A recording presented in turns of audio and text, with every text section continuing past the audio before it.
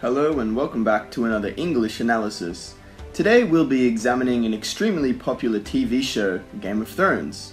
This show follows the very brutal and dramatic kingdom of Westeros, where medieval families scramble to obtain the Iron Throne and rule the Seven Kingdoms. Game of Thrones is well known for its wonderful dialogue, which is able to express the characters' thoughts and feelings. This particular clip will teach you some important vocabulary and phrases that you can use to express your own thoughts and feelings. One more thing, while you're here, why not install the eJoy Chrome extension?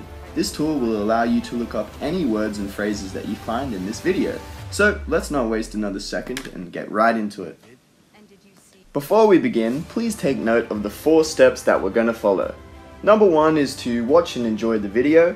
Number two is to look up any new words and phrases and make sure that you understand the video. Number three is to do the exercises within the video. And number four is to review the vocabulary and the sentence structures that we've learnt from the video. So first things first, let's watch the clip, so sit back and enjoy. You're right. You're not guilty of your father's crimes. And I'm not beholden to my ancestors' vows. Then why are you here? Because I need your help, and you need mine. Did you see three dragons flying overhead when you arrived? I did? And did you see the Dothraki? All of whom have sworn to kill for me. They're hard to miss. But still, I need your help. Not to defeat Cersei. You could storm King's Landing tomorrow and the city would fall. Hell, we almost took it and we didn't even have dragons. Almost. But you haven't stormed King's Landing. Why not? The only reason I can see is you don't want to kill thousands of innocent people. It's the fastest way to win the war, but you won't do it. Which means, at the very least, you're better than Cersei. Now it's time to analyze what we just watched. You're right. You're not guilty of your father's crimes. And I'm not beholden to my ancestors' vows. Ancestors. An ancestor is someone who was born before you and is related to you. For example, my grandparents and my great grandparents and my great great grandparents are all my ancestors. This is another example of a great word to add to your vocabulary. Make sure to practice this one. Then why are you here? Because I need your help, and you need mine. Did you see three dragons flying overhead when you arrived? Also, did you guys know that you can use the eJoy extension to look up any words or phrases while watching this video? Maybe you can look up overhead. Overhead.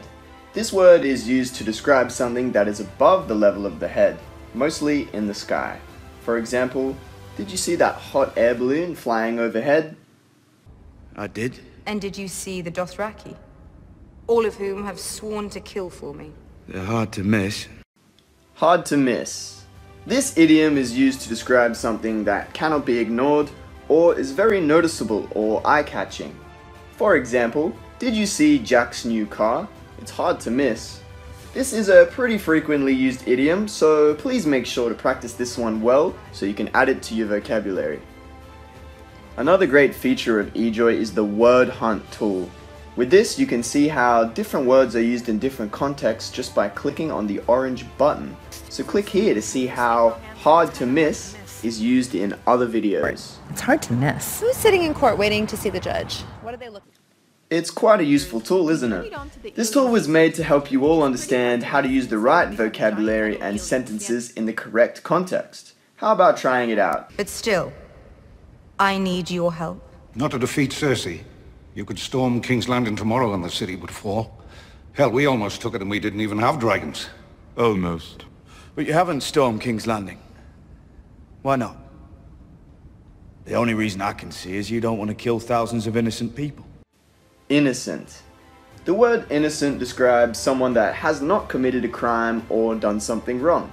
For example, I swear I didn't steal the cookies. I'm innocent.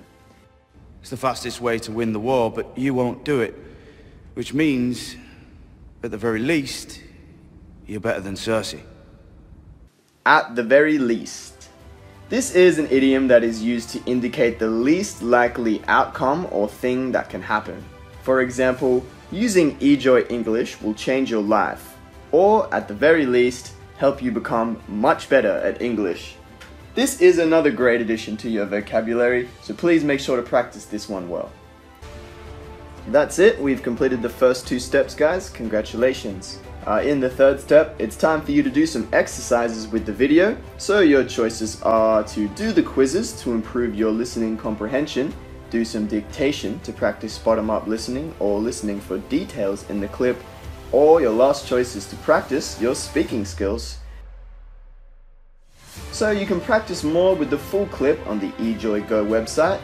You'll need all the links below. And for the fourth and final step, you will need to review all the vocabulary that you've picked out from this video every single day to make these words become part of your everyday vocabulary. So guys, keep on practicing. Also, please make sure to check the daily challenge and review on the eJoy app or the eJoy extension. Okay guys, thank you so much for watching. I really hope you enjoyed the video and learned something new today. If there's something you would like us to analyze, please, please let us know. And also make sure to give us a like and subscribe to the channel for some more awesome videos. But for now guys, it's goodbye. Have a nice day.